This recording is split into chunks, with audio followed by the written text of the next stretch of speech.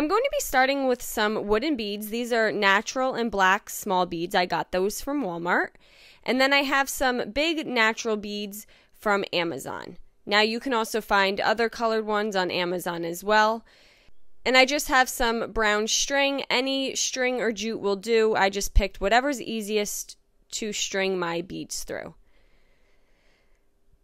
So I'm going to be doing a black and two small natural wood beads, and then another black small, and then a large wood bead. And I'm going to repeat that pattern as I'm stringing the beads on.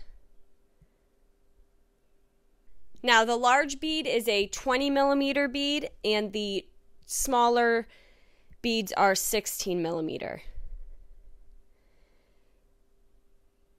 And then you just want to cut the ends, leaving some extra string. Now I'm going to have four different strands of beads, and each time I do a strand, I'm going to add beads. So the first one is going to have 18 beads, the second will have 24 beads, the third will have 34 beads, and the fourth will have 44 beads. And then I'm just going to lay them down. So it's going to go from the smallest strand to the largest. And I have this wood dowel, and you can really make this any length you want. This is about 14 inches long. And you can find these at Hobby Lobby, Dollar General, Michaels, and you may have to cut it to the size you need. And I'm going to start with my smallest strand of beads and just tie it onto the dowel. And you just want to give it a double knot. And then I'm going to go to the next size strand with the 24 beads and tie that. And I'm going to go all the way until I have the largest strand of beads as my last row. And then you just want to even them out on the wooden dowel. And this is what we have so far. And I'm just going to cut all the extra string that we don't need off. Now, you can use any color beads you want. You can get creative with this. I thought an Americana theme would also look really nice.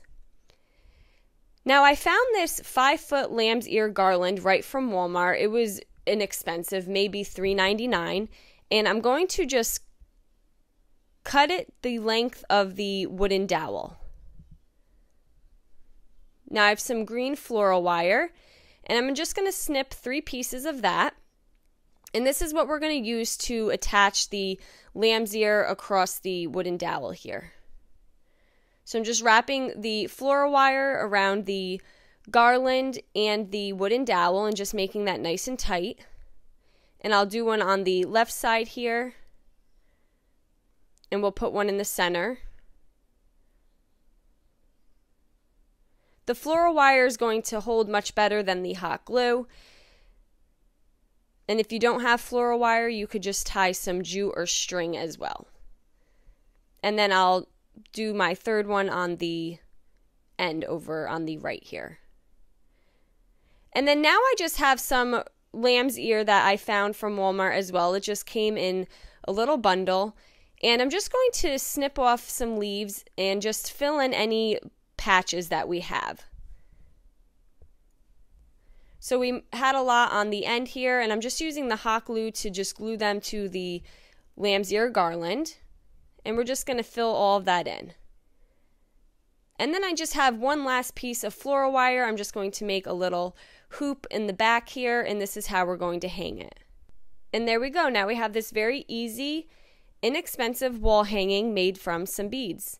Thank you so much for watching. Paint products, transfers, stencils, and tissue paper can all be found on our webpage at chalkitupfancy.com. And don't forget, you can also check out some other tutorials while you're over there. Have a great day.